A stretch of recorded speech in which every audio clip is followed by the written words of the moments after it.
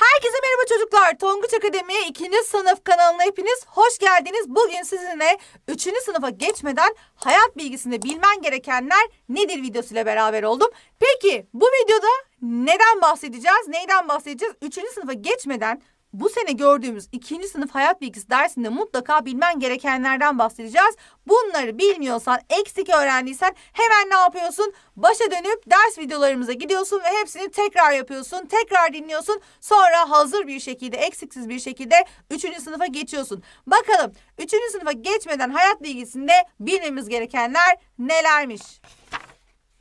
Öncelikle ikinci sınıf birinci dönem hayat bilgisi konularımız vardı.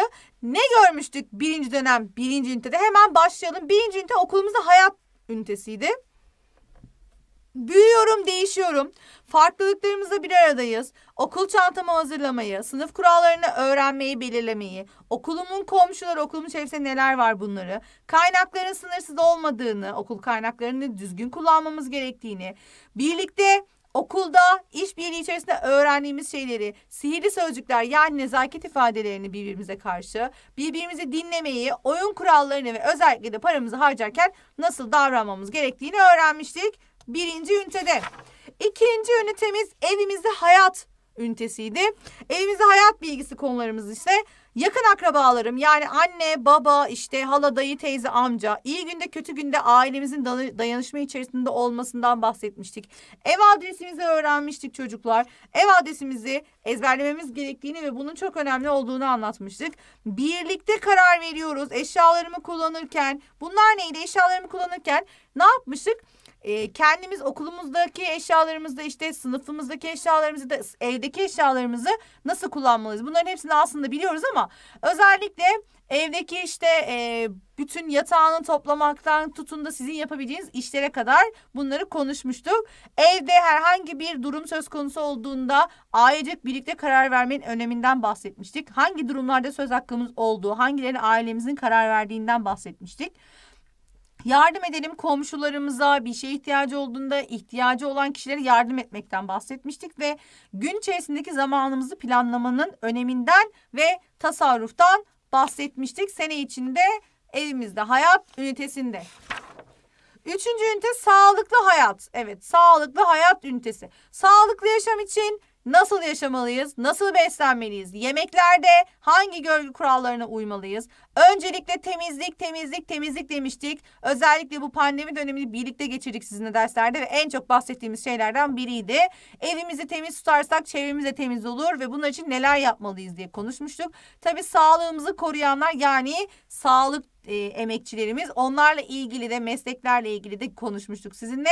Meyveleri, sebzeleri mevsiminde tüketmenin önemini ve hangi meyve hangi mevsimde tüketilir, hangi sebze hangi mevsimde tüketilir diye konuştuk, öğrendik ve mevsimine uygun kıyafetler seçmemizin önemini birlikte işlemiştik. Yazın mesela çok kalın giyemeyiz, kışında çok ince giyinemeyiz. Bunların hepsini işlemiştik beraber. İkinci döneme geçtik ve ikinci dönemde dördüncü ünite yani güvenlik, güvenli hayatla başladık. Güvenli hayatta taşıtlar, kara hava ve deniz taşıtlarını işledik birlikte. Güvenli yolculuk için bizim üzerimize düşen görevler neler bunları işledik. Birlikte karşıdan karşıya geçerken trafik esnasında nasıl davranmalıyız, nelere dikkat etmeliyiz bunları işledik. Bir telefon kadar yakın, Nedir bunlar? Acil durum numaraları dahil bunları öğrenmiştik çocuklar. Teknoloji her yerde. Yani bu zaten hayatımızın bir parçası. Çevremizdeki teknolojik araç gereçlerden bahsetmiştik ve bunları korumak için, düzgün kullanmak için neler yapmalıyız? Parklar, bahçeler bizi bekler. Oralarda da güvenli oyun alanlarında nasıl oyunlar oynamamız gerektiğinden bahsetmiştik beraber. Beşinci ünite ülkemizdeki hayattı. Dünya üzerinde hatta küre üzerinde ülkemizin yerini bulmayı görmüştük. Milli değerlerimiz bizim işte birlik, beraberlik, dayanışma değerlerimiz üzerinde durmuştuk. Atatürk, Mustafa Kemal Atatürk'ün çocukluk döneminden bahsetmiştik. Onun da bir zamanlar çocuk olduğunu ve nasıl bir çocukluk geçirdiğinden bahsetmiştik. bütün milli bayramları nasıl coşkuyla kutladığımızdan bu bayramların önemlerinden bahsettik ve ardından da dini bayramlardan, dini günlerden bahsettik çocuklar. Kültürel mirasımız yani geçmişten günümüzde bize bırakılan ve bizlerin de geleceğe bırakacağı sizlerin çocukların da vesilesiyle geleceğe bırakacağı kültürümüzden, mirasımızdan ve bunlara sahip çıkmaktan nasıl sahip çıkmalıyızdan bahsettik. Farklı kültürler, farklı insanlar bir arada yaşadığımız bu toplumda e, hem yurt dışından belirli sebeplerle gelen başka ülkelerden hem de isteyerek de olsa gelip burada kalan farklı kültür, farklı insanlarla nasıl bir arada e, birlik beraberlik içerisinde yaşamalıyız. Bunu konuştuk. Neler üretiyoruz? Ülkemizde hangi şeyler üretiliyor? Neler nerede üretiliyor? Bunları beraber işledik. Altıncı ünite son ünite doğada hayat ünitesiydi.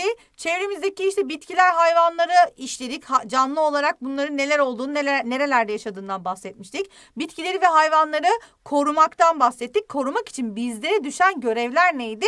En önemlisi bunun üzerinde durmuştuk sizinle.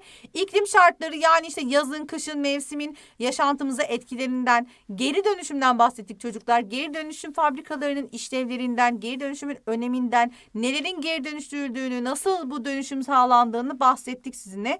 Su damlasının öyküsü yani bir e, su, e, seller, denizler, yağmurlar bunlar nasıl oluşuyor? Nasıl bir döngü içerisinde bunları konuştuk. Doğal afetleri konuşmuştuk ve alınması gereken tedbirler deprem çantasından tutun da hazırlanması gereken işte plana kadar her şey bunların içindeydi ve bunun için mutlaka evimizde önlemler almalıydık ve yön bulma dünyanın şekli ve hareketleriyle ünitelerimizi yani ikinci sınıfı bitirmiş olmuştuk. Peki Hemen görsellerle bir hatırlayalım beraber. Okulumuzda hayat ünitesinde okul kurallarından bahsetmiştik. Okulda arkadaşlarımızla birlikte nasıl davranmalıyız bunlardan bahsetmiştik. Bahçede oynarken neler yapmalıyız bunlardan bahsetmiştik değil mi çocuklar? Tören sırasında hangi kurallara uymalıyız? Okulun içinde yer, sınıfların yerleri krokisi. Bunların hepsinden okulumuzda hayat ünitesinde birlikte bahsetmiştik. Peki evimizde hayatta ne demiştik çocuklar? Annemiz, babamız, teyzemiz, dayımız, halamız kimlerdir? Annemizin annesine ne deriz? Babamızın babasına ne deriz? Anneanne, babaanne, dede, kuzen, hala, dayı, amca, teyze, enişte. Bunların hepsini evimizde hayat ünitesinde birlikte öğrenmiştik. Sağlıklı hayat. Evet, sağlıklı hayatta çocuklar Öğünlerde neler yemeli? Sabah kahvaltıda yumurta, süt, değil mi? Peynir. Öğlen yemeğinde şöyle güzel bir işte balık, et, tavuk mesela, salata, yoğurt. Akşam yemeğinde neler yenmeli? Bunların hepsinden bahsetmiştik beraber ve sağlıklı beslenmek için düzenli ve düzgün yani yeterli kadar beslenmemiz gerektiğini, öğünlerimizi bu şekilde ayarlamamız gerektiğini, dengelemeyi unutmamayı anlatmıştım sizlere. Peki Dördüncü ünite güvenli hayatta acil durum numaralarını öğrenmiştik. Birincisi 155 neydi? Alo polis imdat değil mi? Bir hırsızlık bir olay olduğunda bir şey olduğunda polisi arıyoruz. 156 jandarma 110 itfaiye 112 neydi? Değil mi? Ambulans. Başka ne var çocuklar? Ve orman yangınları. Alo 177 idi. Son olarak da AFAD vardı. 122'yi öğrenmiştik. Beraber acil durum telefonlarında. Ülkemizde hayatta Mustafa Kemal Atatürk ve onun çocukluğundan işte onun bizlere armağan ettiği bayramlardan 29 Ekim Cumhuriyet Bayramı'ndan 23 Nisan Ulusal Egemenlik Çocuk Bayramı'ndan 19 Mayıs Atatürk'ü anma Gençlik ve Spor Bayramı'ndan bunların 30 Ağustos Zafer Bayramı'ndan bahsettik ve bunların nasıl ne zamanlarda kutlandığını neden bayram olarak ilan edildiğini işlemiştik beraber. Doğada hayat ünitesinde çevremizdeki bitkileri, hayvanları işledik çocuklar. Hangi meyveler, hangi sebzeler nerelerde nasıl yetişiyor bunlardan bahsetmiştik. Ve özellikle de bitkileri korumak için neler yapmalıyız, hayvanları korumak için neler yapmalıyız. Geri dönüşüm Evet geri dönüşüm çok önemli dedik. Geri dönüşümle ilgili bizler neler yapabiliriz? Özellikle cam, plastik, kağıt bunları yani geri dönüşümü sağlanan maddeleri biriktirip biriktirip geri dönüşümleri atıp bir e, geri dönüşüm döngüsüne girmelerini ve tekrar dönüştürülmelerini sağlayabiliriz demiştik. Ve hayat bilgisinde bu sene ikinci sınıfta sizinle bunları öğrendik. Bunları bilmeden ne yapıyoruz? Üçe geçmiyoruz. Varsa eksiklerimiz dönüp videolardan tamamlıyoruz. Üçüncü sınıf kanalına şimdiden abone oluyoruz. Neden? Artık iki bit bitti ve üçüncü sınıfa geçiyorsunuz sizler.